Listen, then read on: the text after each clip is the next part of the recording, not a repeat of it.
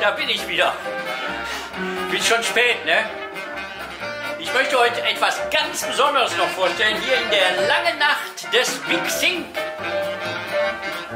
Und zwar, ich glaube, was gibt es ganz selten auf der Welt, meine Damen und Herren, die Porzellangitarre.